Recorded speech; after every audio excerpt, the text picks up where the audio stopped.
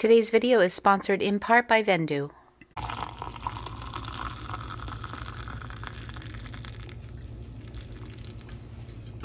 This looks yummy. Looks hot. I love my coffee to like burn my mouth, so this is good.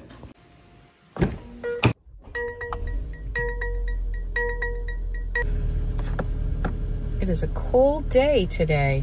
My aim for today is to just take my time and enjoy the process. I've had a couple weeks off from thrifting and have had some productive time. So I really just want to enjoy, take my time and come home with a few quality pieces. That would make me really happy. Weather here has been just crazy. Yesterday it was in the low teens and just incredibly cold.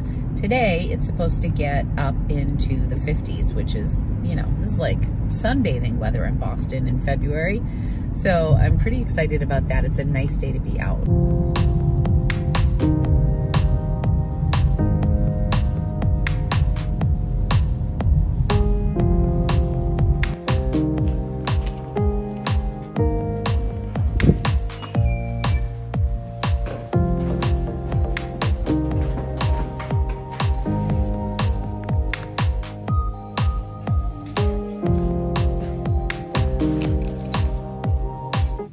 Headed right over to the section of the store where they tend to have nicer brands and mark items up. The yellow tags are $19.99, the blue are $12.99, and the orange tags are $14.99. So you can see the types of brands that they are marking up. I always like to get a lay of the land and see what they're pricing higher. This is a store that was historically my favorite. It's now pretty hit or miss. I do manage to find some good pieces today. These are all sports bras priced at $7.99.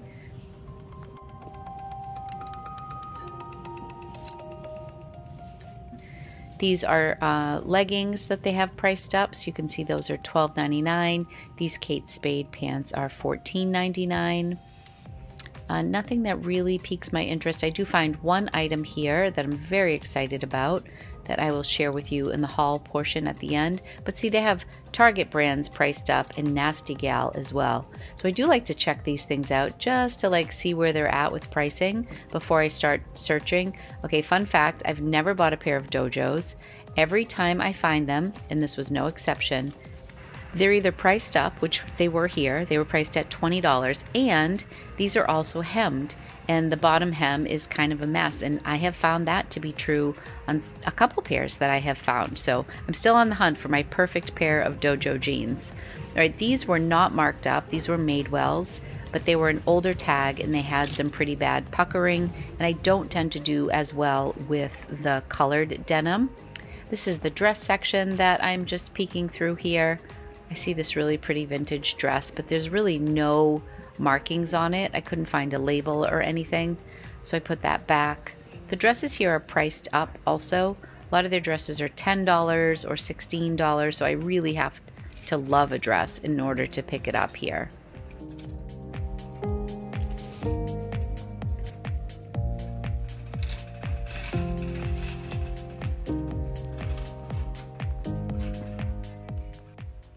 My shoe game at this store used to be stellar, but recently it has been not so great.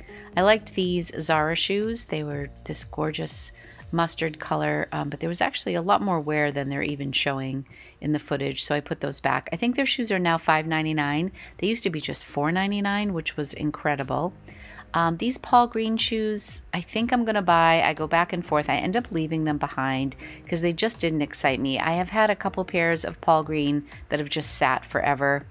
These Tory Burch were just totaled. Um, I did not pick these up. Today, I'm really not looking for any projects or things that I can go home and DIY or fix up. I'm really just looking for things that are exciting to me, that'll be either a fast flip or bring me a really good profit. So I pass on a lot of things that, you know, maybe even a year ago I would have picked up or six months ago. Being home for two weeks straight and just going through old inventory and death piles has really made me selective out at the thrift store. This is a Pendleton short shirt in the men's section that is really nice, but it's loaded with moth holes, unfortunately. It was a really cute shirt. I would have definitely grabbed it.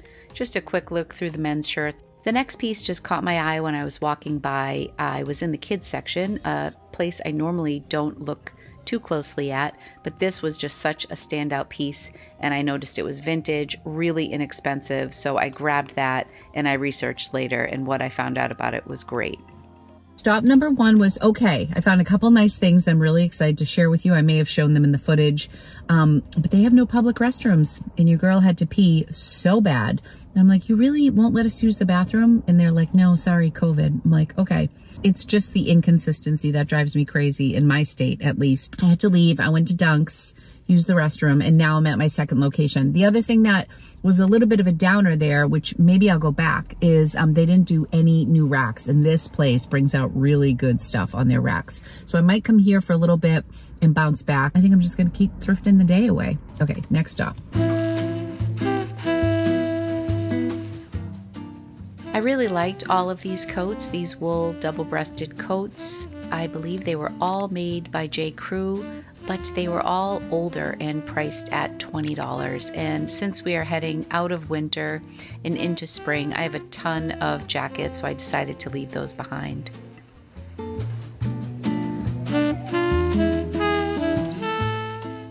I liked this piece by Garnet Hill, um, the dolman sleeves. I was actually considering this for myself but it was just a little too plain, as was this chaser shirt, also an extra large.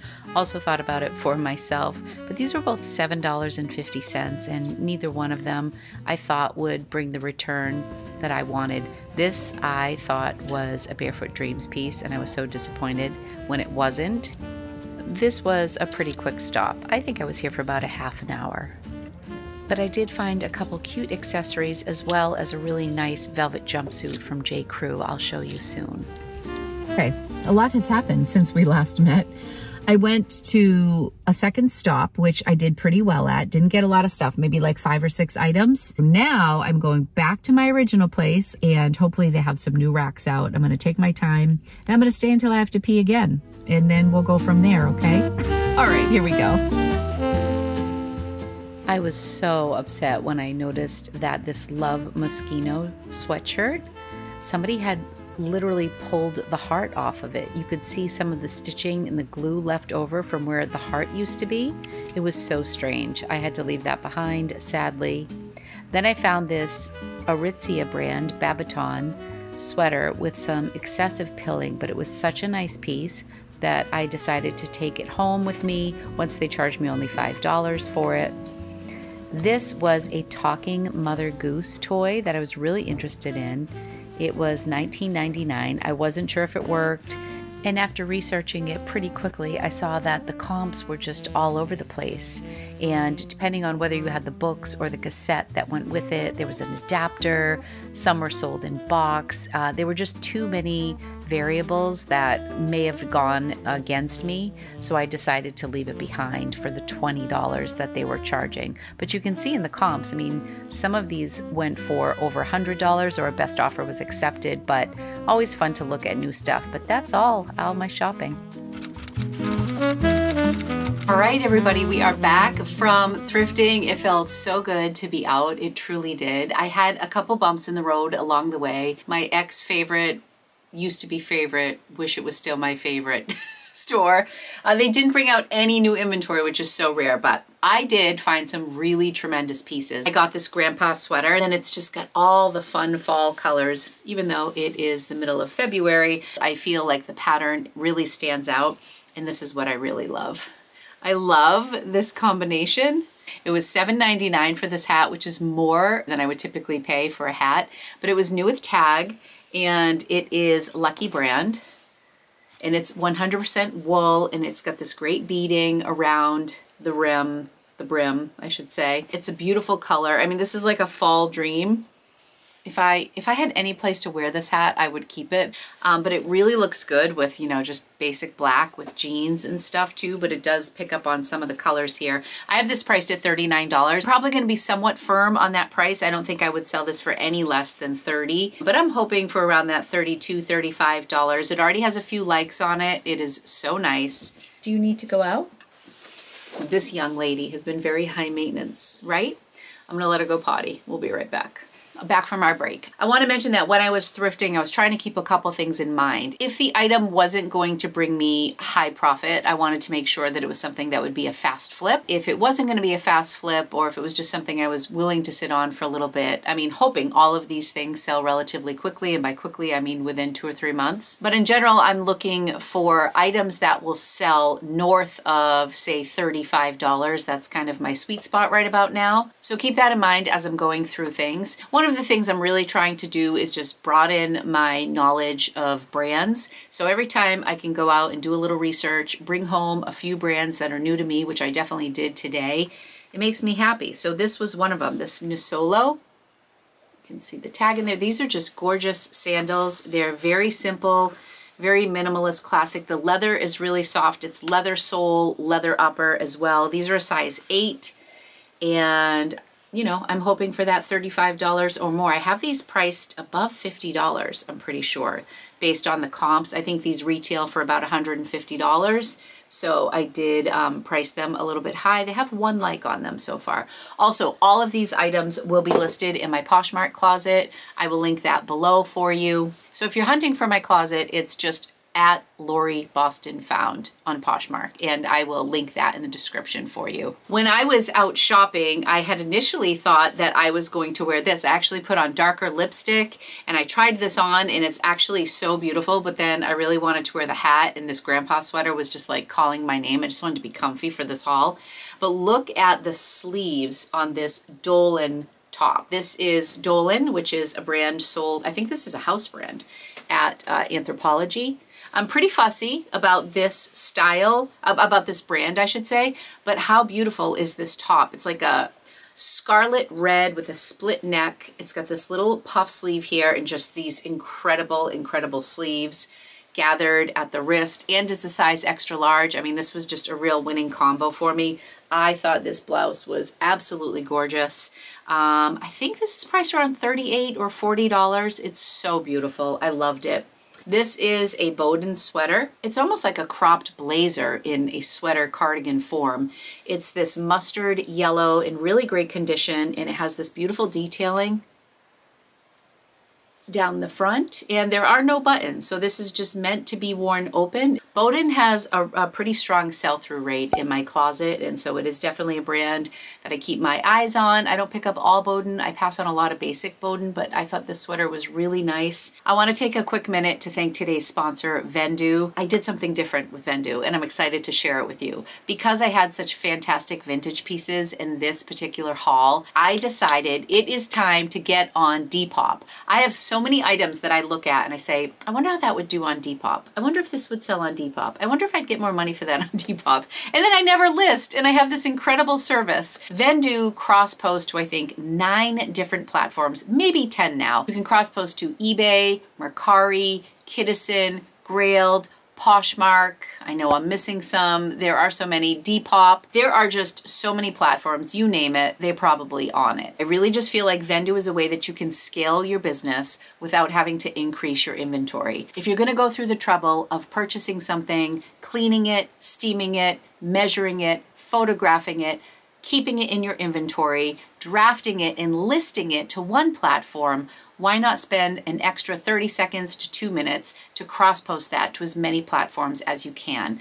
My main platform is Poshmark. eBay has thousands and thousands of more users than Poshmark does. And there are buyers on Etsy that would be more excited about a piece than my buyers on Poshmark. To have a place where you can just blast everything out to a bunch of different platforms, and then once it sells, you just click a button, mark what it sells for on one platform, and it automatically removes them from other platforms. It gives me such peace of mind that I'm not going to double sell something. Vendoo has been a huge game changer for me, so I would love for you guys to try it out. I do have a discount code. If you click the link in my description, you'll receive 25% off your first month month of service and let me know how you like it. Leave in the comments if you use Vendoo now, what your thoughts on are on it, if it's changed your business. For me, any sale that I make on a platform other than Poshmark is a bonus. It pays for itself. They have a variety of price points. You can check out their price list and you can find the plan that works best for you. The next item is something that I picked up that I'm hoping will be a quick flip and has a really good sell-through rate, even though it's gonna be low dollar amount and it was low cost. So I picked up this The Mountain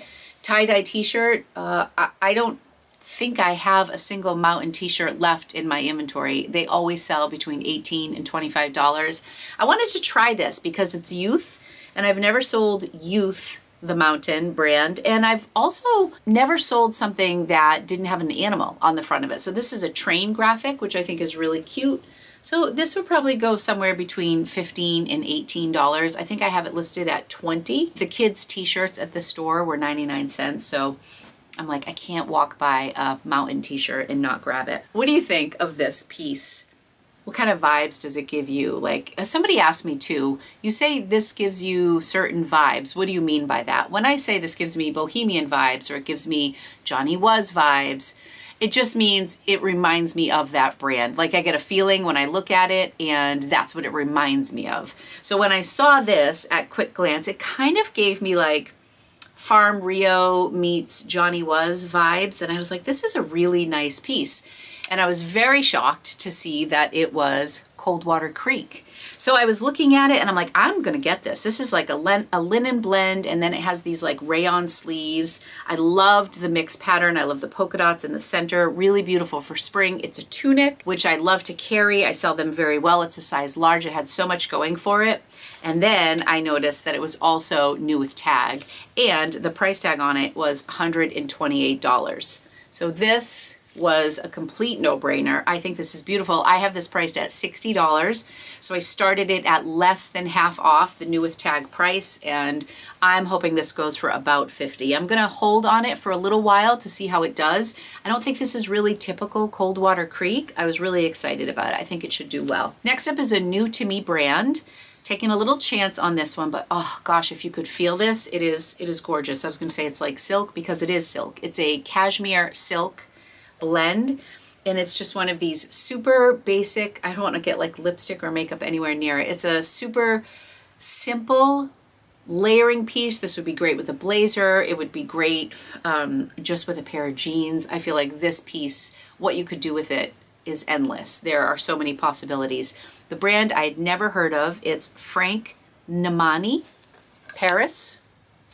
So there there's the tag, Franck Namani. Absolutely gorgeous, and I think it's 70% cashmere, 30% silk, made in Italy. Franck Namani Paris. Gorgeous. Let me know in the comments if you've ever heard of this brand. There aren't many listed on Poshmark.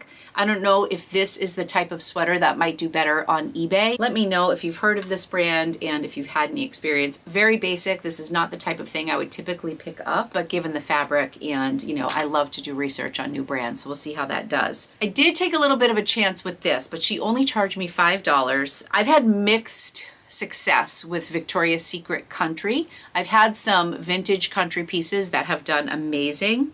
I don't know how vintage this is because this tag doesn't look that old, but I'm, I, it's not a gold tag or anything. This is a one-piece navy blue jumper, jumpsuit, because it's it's got pants. And I think this is just so adorable. There are a few available I haven't seen many sold comps and I've seen this listed for 60. I've seen it listed for 38. I will probably list it for 45 because I had a two-piece version of this in like an evergreen, but it was it screamed Christmas and I felt like the two pieces, it was a little more matronly looking. I feel like people could be really playful with this. It's just like a one piece. I love the navy blue. Otherwise, it's almost identical to the, the velvet and the little detailing with the flower embroidered on the pocket. So very similar in that respect. Same collar, but I just thought this was so cute and it's navy blue and I think somebody would love it. It's actually gathered a little bit in the back. So if you wanted to show a little waist, it is a size small. Let me know if you have success with Victoria's Secret Country or if you've ever sold one of their velvet pieces. I thought this was a unique piece, so for $5, I figured I'd give it a try. This was a piece I bought for myself. What did they price this at? This was priced at just $2.99 and it was new with tag. Um, it's just vegan leather. It's called Class Ladder or Glass Ladder Company. This is just a tech accessory pocket. It has the tag right inside. It retailed for just $35. So for $2.99, I thought this was really cute for me if I ever like, if I'm ever back at cafes and working and I need to bring my laptop in my tote bag, I can include all of my accessories in here, my chargers, has a little pocket here. I could probably put my AirPods in here and then it just folds up and then it ties around and just easy just to bring on the go with me. So this is really cute. If I don't end up using it, I would probably list it for about $25, $10 off of the retail. I have two vintage pieces at the end of this that are, in my opinion, showstoppers. I'm so excited to share them with you, but I have a few other pieces that I want to share before we get there. This is a cropped wide leg velvet spaghetti strap jumper by J. Crew, and I have this listed at $75. The comps on these were pretty promising. This is J. Crew 365 I'm hoping to get about $50 for that piece. The only downside is that I feel like it's more fall with the golden color. I feel like this was a very fall haul, even though we're in the dead of winter. But because they're wide leg cropped and because it's got the spaghetti straps here, I really feel like that could really push close to uh, right through spring. I think we'd be great with that. So hope somebody scoops that up. So this is the group Babaton, which is an Aritzia brand and this is also a 1X. I was really discouraged. I grabbed it, scooped it up right away without even looking at it. Then as I was going through, I noticed that it had some real excessive pilling. They charged me for a robe for this. So they only charged me $5, same as they charged me for the Victoria's Secret piece.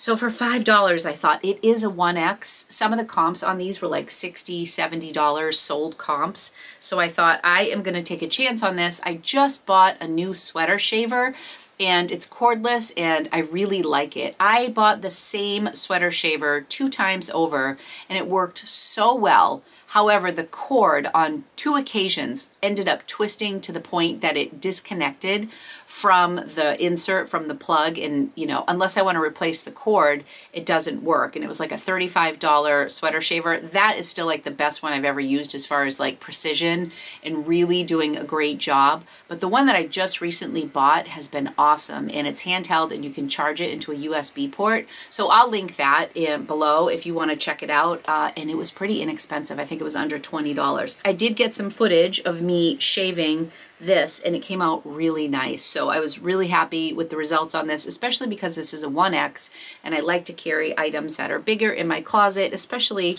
in brands such as Aritzia. To have something in a larger size is fantastic because I feel like most of the stuff that I find from Aritzia that ends up in my closet is usually a smaller size. The next two items, I don't know if I'm gonna sell. I say that they are literally both listed, but I love them so much. They are so up my alley. This is a Walter Baker, it's called the Tulum Kaftan in a tropical print.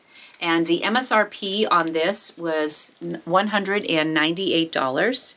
And this is a long floral, you know how I love black floral, kaftan. It is just so gorgeous. We are probably going to Florida in May, and I just think that this would just be stunning. There are a lot listed. Um, I have mine listed at $90, and I'm going to hold on to that kind of tight because I want this.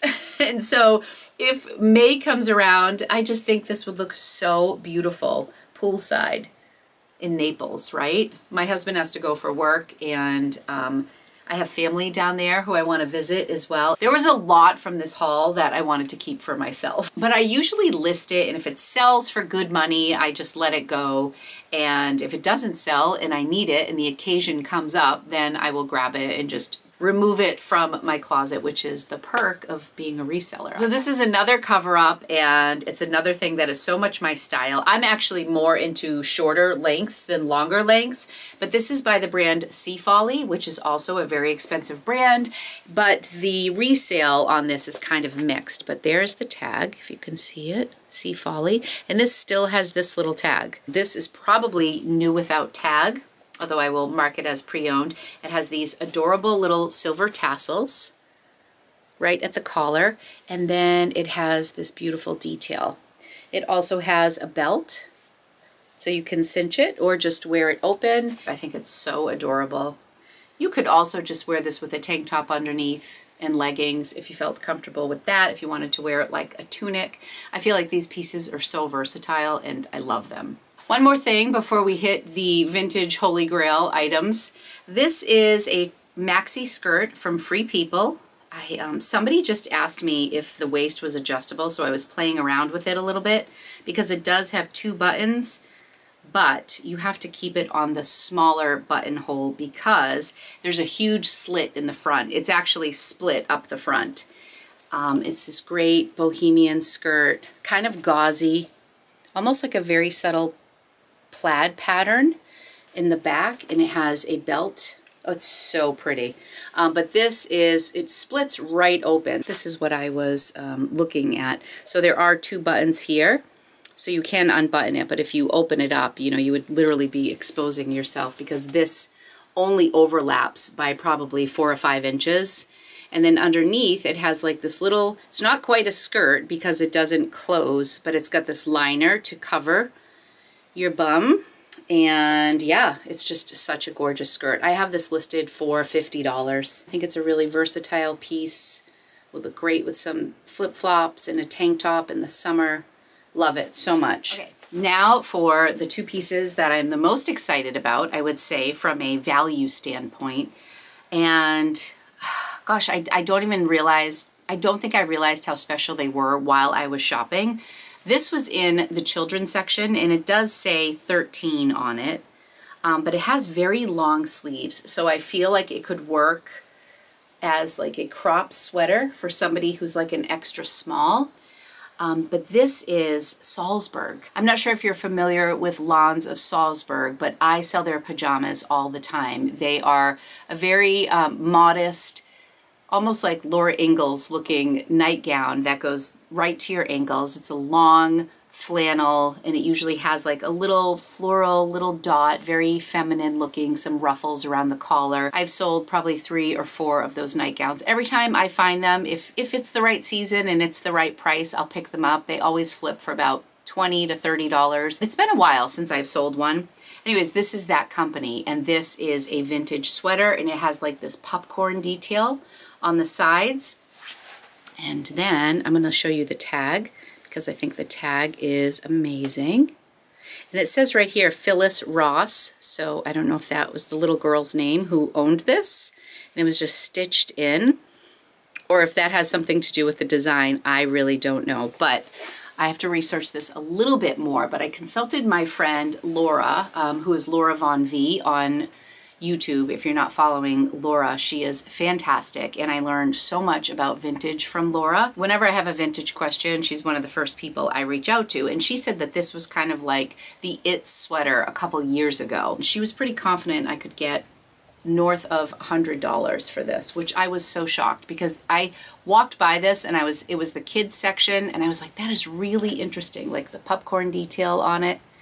I don't know where I'm going to start this, maybe 150. There are a few spots that I need to work on. No, maybe I got them out. No, there's just these two little, I mean, they're very minor little dots here, but they're kind of hard. So I think if I soak this a little bit, that's something that should hopefully just come right out. How cool is this? My question is, I don't know if I should mark it as a women's sweater and put it as like an extra small, or if I should list it in kids. It says 13, I'm assuming that's age 13. I get so excited about good vintage.